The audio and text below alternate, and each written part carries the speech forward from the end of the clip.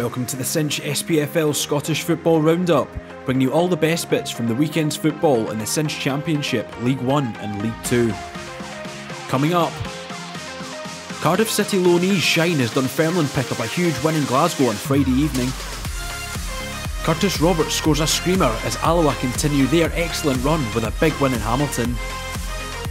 And League 2's bottom side Clyde thrash league leaders Stenhousemuir at Ochilview.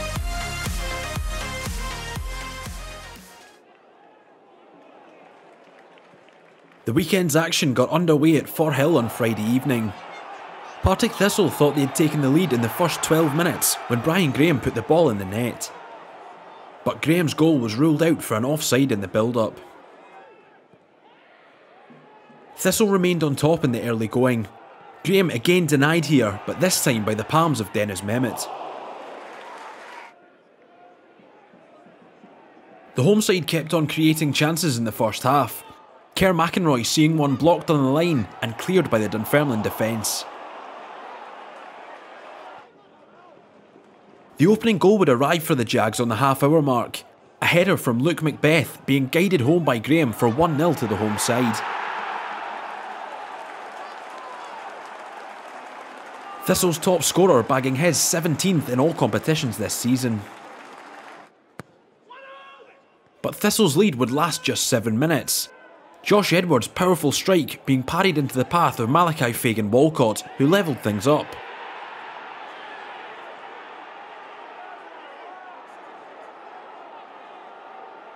The on loan defender with his second goal in as many games for the Pars.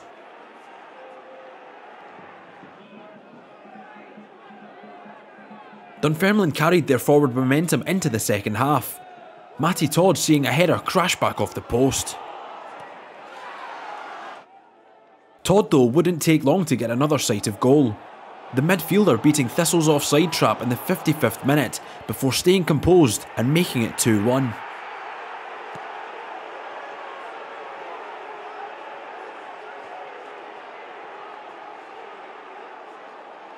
An excellently timed run from the midfielder, with a classy touch and finish to boot. And just four minutes later, the home side thought they'd levelled things up once more when Graham knocked the ball beyond Mehmet. But eventually, referee David Munro ruled the goal out for what he believed to be an offside.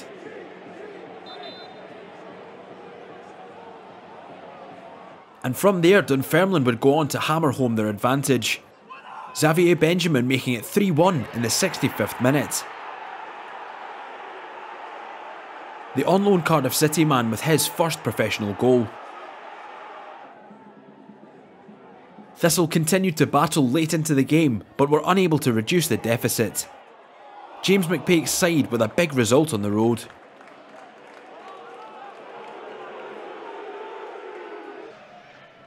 Sulphur smell drifts over Tannadice and the misty, smoky Hazy view clears as oh. Moult knocks down to Cudjoe, who's into the box straight away. Early shot that will go wide of the far post. Movement coming in the middle, but it's gone short instead to Turner. Josh Scott gives it now to Dom Thomas. Now it's Longridge, left edge of the area. Gets the ball across. It's spilled by Walton. And knocked in by Payton. Queens open the scoring at Tannadice for the second time this season. Just past the 22 minute mark. Now Scott in the burst forward finds Thomas. Support arriving. It's Longridge helps it on. Payton with a chance again, and it's blocked this time. Goes forward, looking for Turner. Deflection on it by the boot of Cudjoe, and it breaks to Good Gallagher. Head forward, no flag against Tony Watt, who plays it in low. Fotheringhams effort tipped over well by Callum Ferrie. Moult feels it. Taken quickly by Moult into the top corner. Little run up, little back lift. But that didn't matter. The ball ends up in the top corner. No chance for Callum Ferrie. Moult controlled on the thigh inside to Cudjoe. That's a good ball. Gets it out to Sibbald. Sibbald 30 yards out. Goes beyond Longridge into the D and a pass another one. Still it's Craig Sibbald. Tries to bend one. And it's tipped round the post by Ferrie. Opportunity for Craig Sibbald. Then the doors were closed, but he fashioned the shot in the end. Deep corner to Holt. He heads back in. Watt nods it down. It's nodded in by Tillson. From close range, it's Jordan Tillson who gets his first United goal. And the home side are in front before half time. Nick in and win it back, but United now move forward. Fotheringham. Surely that's a foul, referee. No free kick given. United win it back though through Moult. Now it's Watt, 25 yards out. Shot whistles wide of Ferrie's right hand post. 13 yards, 14 yards out. Free kick is taken and it's beaten away by the fists of Jack Walton.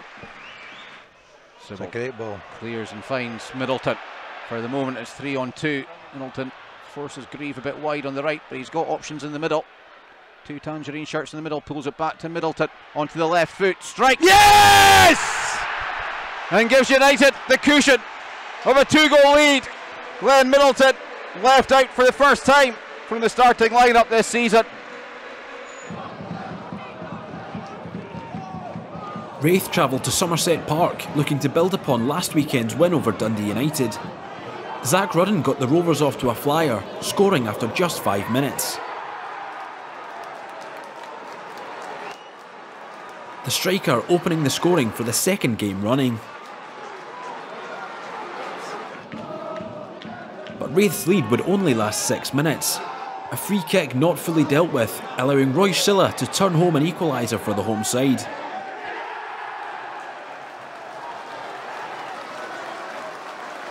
A first league goal of the season for the Albanian midfielder.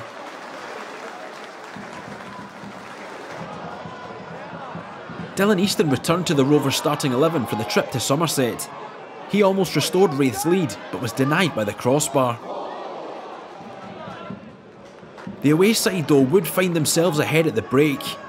Lewis Vaughan with an excellent piece of finishing in first half stoppage time to make it 2 1 the striker notching his 12th since championship goal of the campaign. Raith kept on top after the break. Vaughan going close to making it 3 1, but kept out by a flying stop from young goalkeeper Joshua Clark.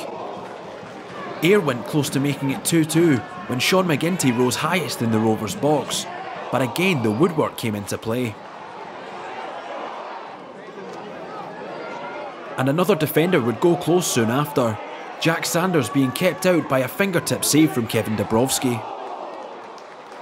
Ayr kept pushing for a leveller late on, Anton Dowd seeing this one flash wide of the mark. But the day belonged to Rovers, another big win for the promotion hopefuls.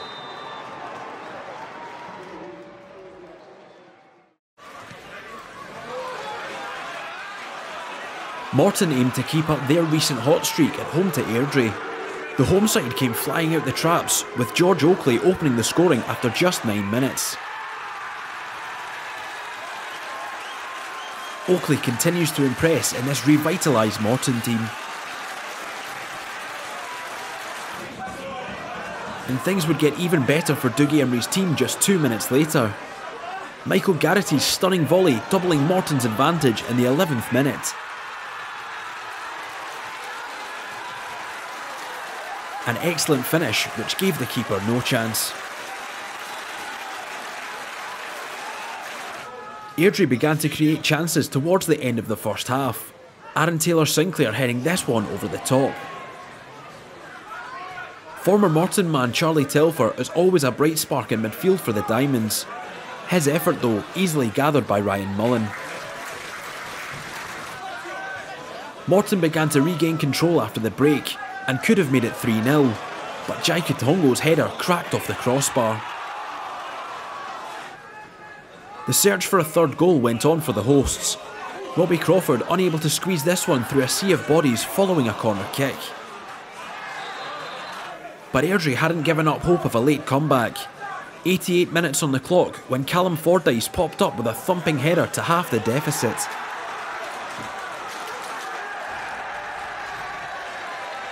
Though it wasn't enough. Morton hanging on for another big win at Cappielow.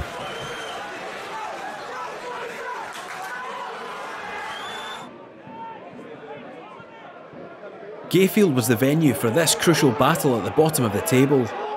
Arbroath started brightly, with Kyle Robinson threatening the Caley goal early on.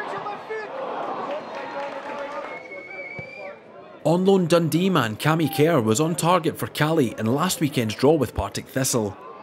He went close to making it 2 and 2 here. Cameron Harper is always a threat on the left hand side for the Caley Jags. He tried to pick out the top corner with a curling effort but missed the target. A big chance would arise for Arbroath at the end of the first half, but David Gould's eventual effort was unable to threaten the Caley goal. Charlie Riley will be keen to make an impact during his loan stint at Arbroath. He went close to marking his debut for the Lichties with a goal after the break. It took until the 82nd minute for the game's opening goal to arrive. A corner kick eventually breaking to Adam McKinnon, whose backheeled finish put Arbroath a goal up. The Ross County loanee getting his first goal since October 2022. From here, Caley pressed hard in search of a leveller. Alex Samuel with a huge chance in the area, which he blazed over the top. And the next big chance would come to Kerr in the box after great play down the right, but his shot curled agonisingly wide of the post. But Caley persisted in attack and finally got the reward in the 94th minute. Harper's effort from outside the area sneaking past Max Boruc to make it 1-1. Duncan Ferguson's side leaving it late to snatch a point in Angus.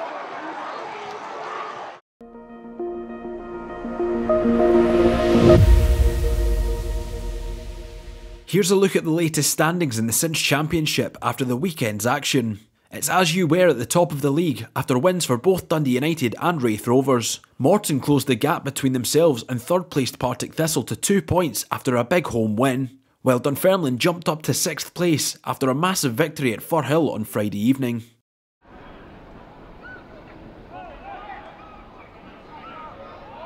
One of Cinch League One's most informed sides travelled to Hamilton on Saturday afternoon. The Wasps applying early pressure, with Ethan Sutherland testing Dean Lyness.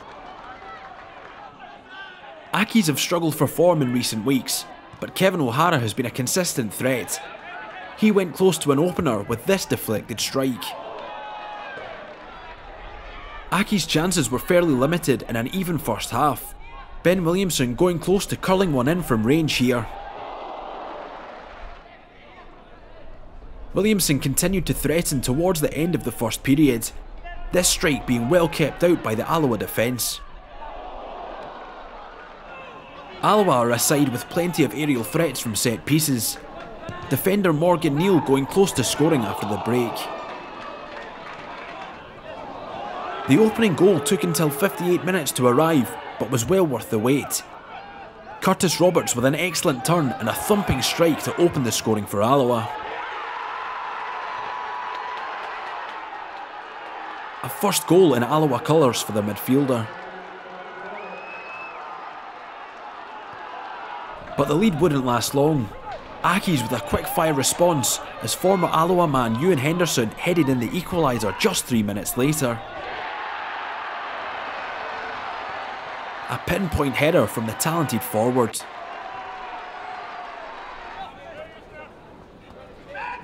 Alloa though weren't happy to settle with a point Taylor Stephen weaving his way through the defence, but pulling his shot wide.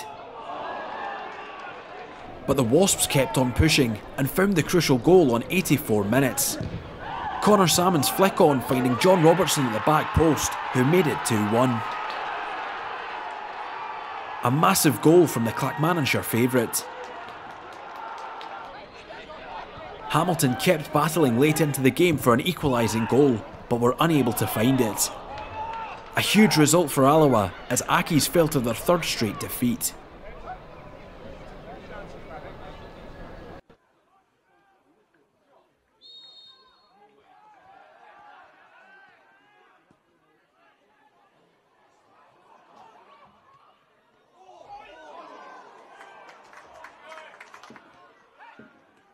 Is out, unless Faris Patterson does well to Tidser.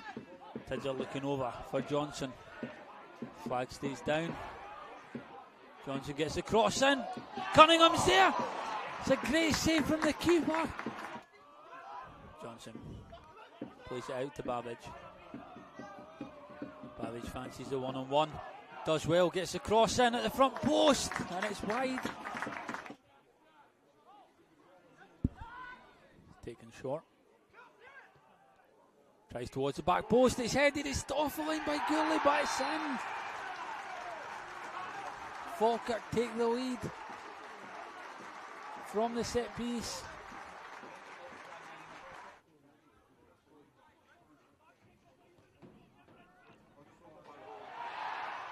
It's off the line. Tries to flick on.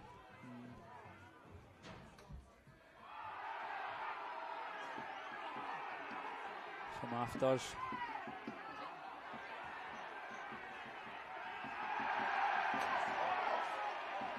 What a joke.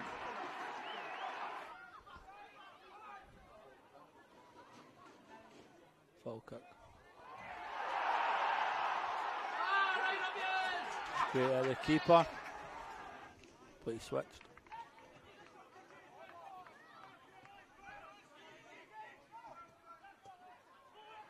Two. Substitute looking to work his way in.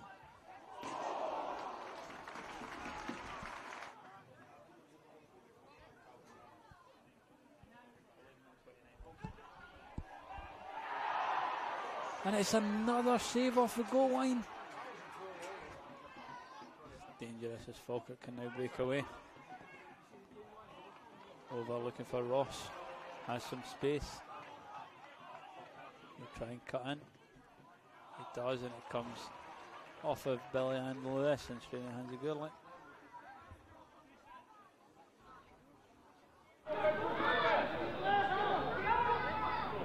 The Binos welcomed Edinburgh City to Forthbank on Saturday afternoon. The away side starting on the front foot, with Malik Zaid firing just wide of the post. The opening goal would arrive in the 31st minute, with the home side taking the lead. Experienced defender Paul McLean forcing the ball home from a corner kick. The defender taking a sore one, but finding the net. Chances continued to arrive for Stirling in the first half. McLean going close to a spectacular second, with Rory Adams making a top save. Into the second period, and City were reduced to 10 men on 47 minutes. Frankie Dean shown a straight red card for a foul on Josh McPake. Saturday's match was McPake's debut for the Binos. He marked the occasion with a cracking free kick goal in the 57th minute. A brilliant strike which gave Adams no chance. And Stirling would grab a third goal on 75 minutes. Another free kick, this time headed home by McLean for his second of the game. Pinpoint delivery and a fine glancing header. Despite being a man light, City kept on fighting Substitute Brody Devine crashing the crossbar with a first time effort late on. Stirling though weren't quite done yet. Need play in the box to work an opportunity, with Lewis Milne just unable to finish. But there would be a fourth goal for the Binos. 89 minutes on the clock when Josh Cooper's neat pass found Dale Hilson, who squeezed the ball home for his first Stirling goal. An excellent day at the office for Darren Young's men.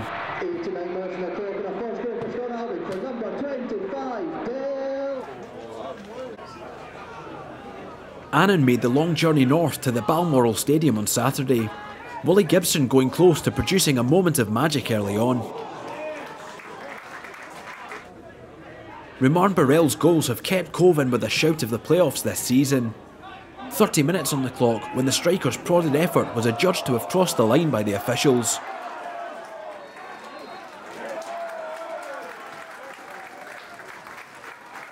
Burrell showcasing incredible striker's instinct for this one.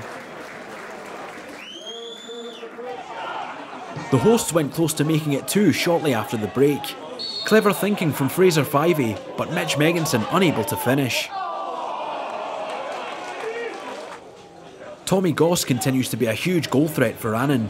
but he couldn't quite keep this header down. But the goal would eventually come for the Galabankies.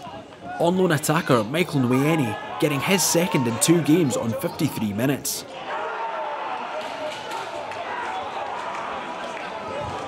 An excellent strike from the Newcastle United prospect. From here, chances began to appear at both ends of the pitch. Cove striker Megginson will be disappointed he didn't find the net here. Annan's next break would come from a defensive mix-up from Cove. Goss going clean through on goal, but denied by Balint Demus. Josh Walker made himself an Annan hero against Hamilton a fortnight ago, but couldn't repeat the feat this time round. It felt as though the next goal would be decisive, and so it proved. Cove's Josh Kerr finding himself in the right place at the right time in the 86th minute to win the game for his side. Paul Hartley's men with their first win since late December.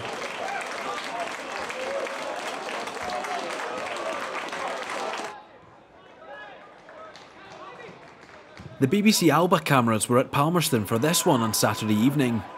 Blair Lyons looking most likely to score for Montrose early on.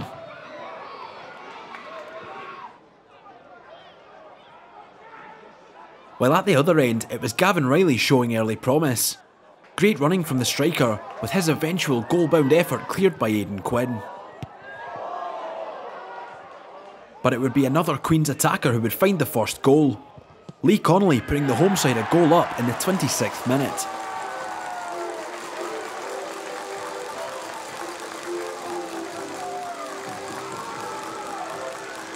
Connelly's strike squeezing beyond Cammy Gill from a tight angle.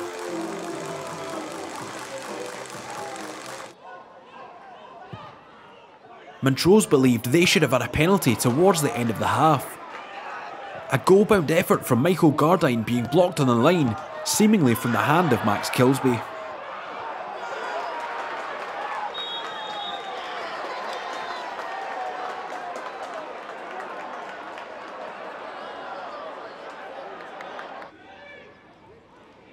Montrose carried their momentum into the second period. Andrew Steeves having a pop from inside the area, but firing just off target. But the equaliser was just around the corner. Gardyne's pinpoint free kick on the hour mark, making it 1 1.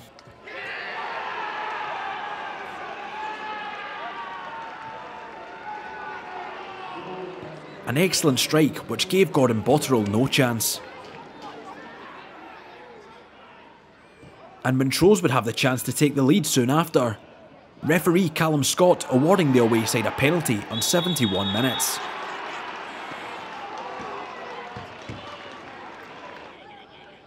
Penalty which was confidently powered home by Mo hero Graham Webster for 2 1.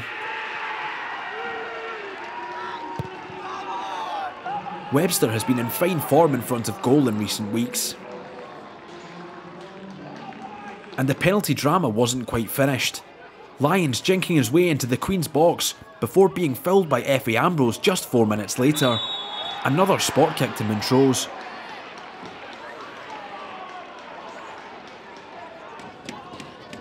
Webster stepped up to the plate again. Different side, same outcome. Montrose's number 7 bagging his fifth goal in as many games.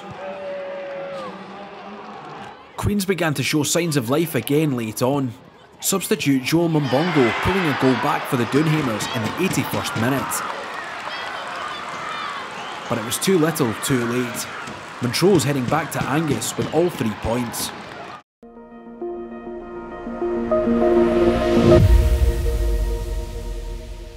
Here's a look at the latest standings in the Cinch League 1 table after another busy weekend. Falkirk extended their lead at the top of the table to 17 points with a narrow 1-0 win at Kelty. Alloa reduced the gap between themselves and second placed Accies to 7 points with a huge win in Hamilton, while Montrose remain in a strong position in the playoff hunt after an impressive away victory in Dumfries. Adam Brown assisted Buchanan's opener against Clyde here in September. Four goals from that combination, the highest in the league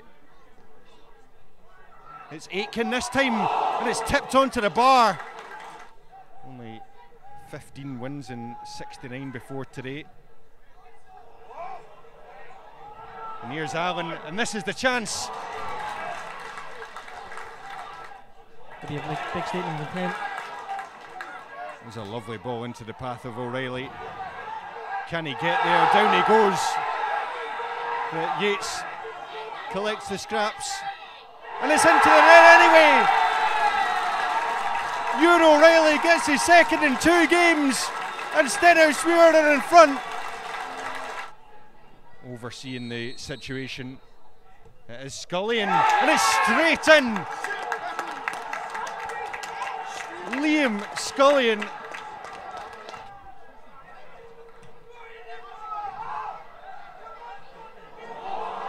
And Meekins missed it. And Allen's in. And Allen scores at the second attempt. What a turnaround in the first half here. Would be much improved in the second half if they're going to try and get something from this match. Anderson into Brown.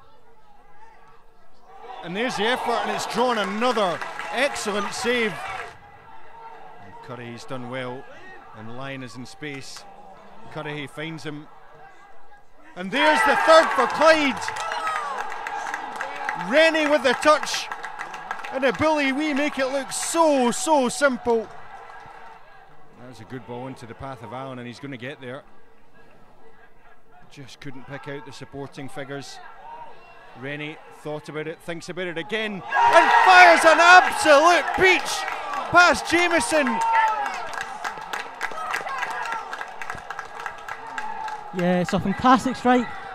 Everything else you could possibly need if Stenhousemuir are going to come back from this. And it's into the path of Ballantyne, who's got another.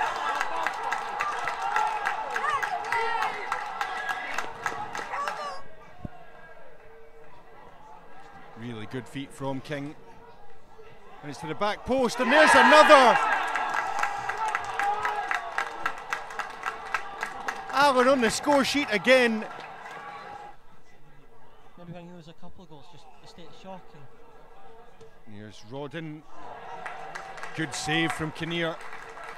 yeah, it's good play from Rodden. Sort of take this, take the pass, and then Turkington was able to get a shot away. And it's a Bonnyrigg made the short trip to Ainslie Park for this League Two clash. They had defending to do early on, as Bradley White threatened for Spartans. Blair Henderson's goals have played a key role in Spartans' playoff push this season. The talented striker tucking away his 14th league goal of the season on 22 minutes. A brilliant piece of close control, followed by a classy finish.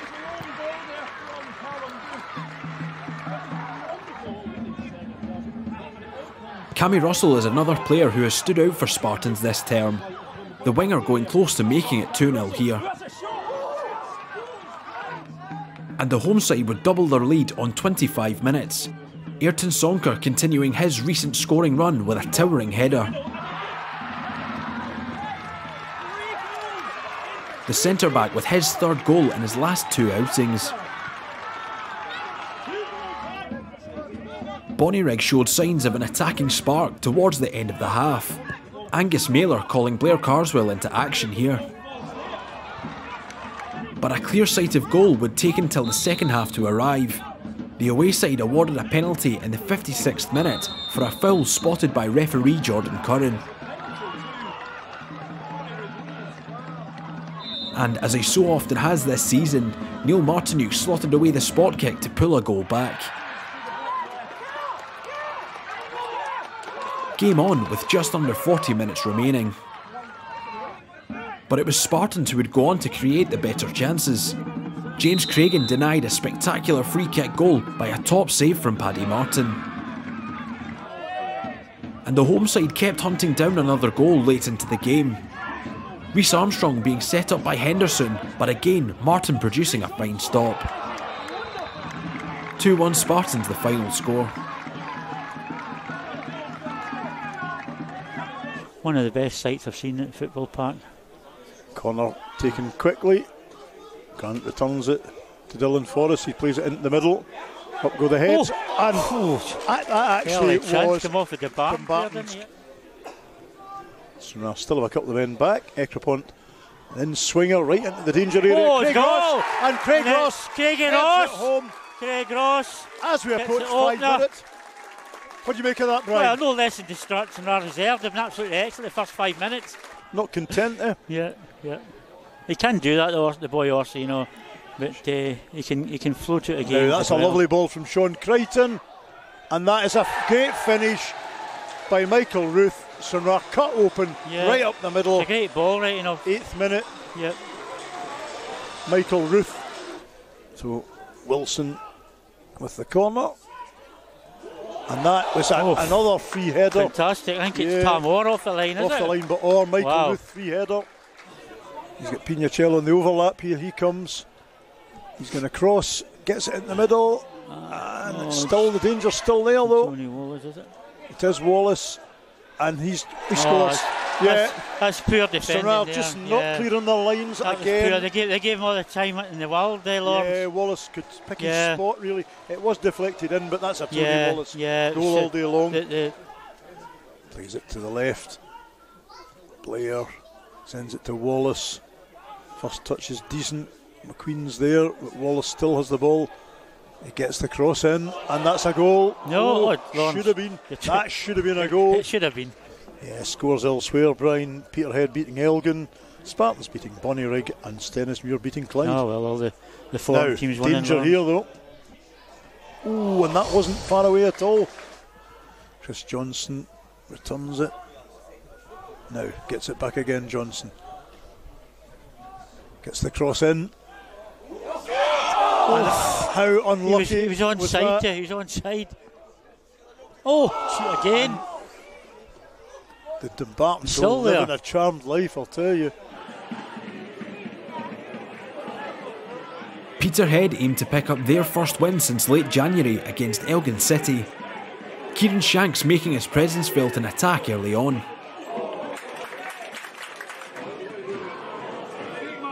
Deshaun Golding has been excellent for Elgin since arriving on loan from Cove Rangers. He looked bright in attack for the Black and Whites. but it would be the home side who would make the breakthrough after just 12 minutes. An excellent touch and finish from Shanks, making it 1 0.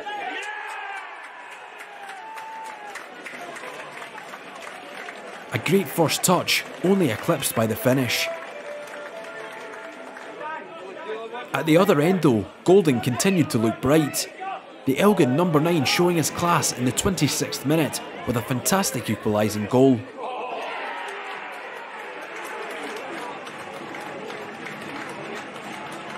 A brilliant run and excellent composure shown for the finish.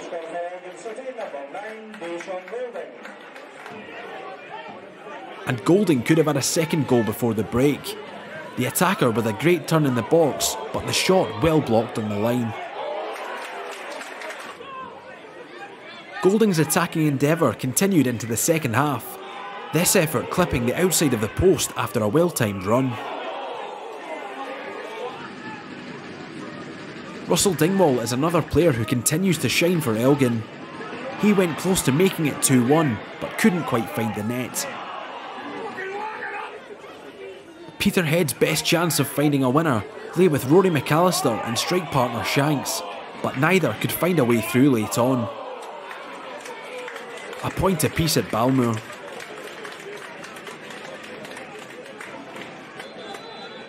And again, he beats Newton Easton, oh, he's lost it. He's five pulling themselves into a bit of bother here. Might be a chance, oh, and Alan Fleming.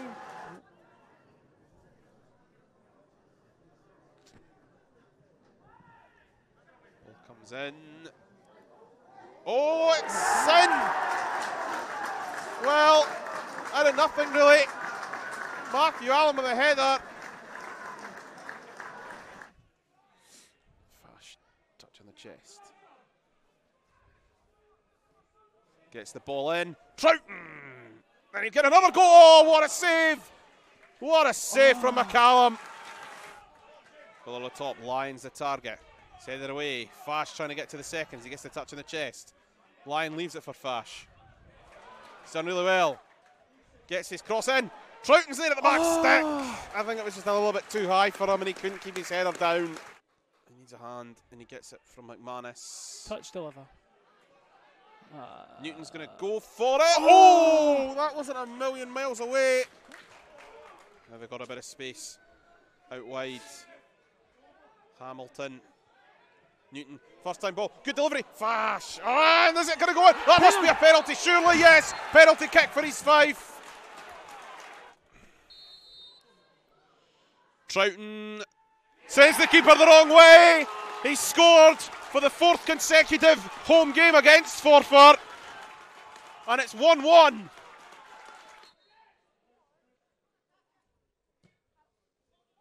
It comes from Murdoch.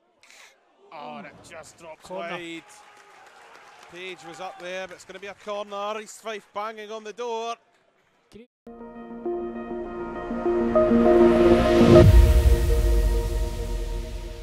Now for a look at the latest standings in the Cinch League 2 table. Stenhousemuir maintain a healthy lead at the top, despite Saturday's heavy defeat.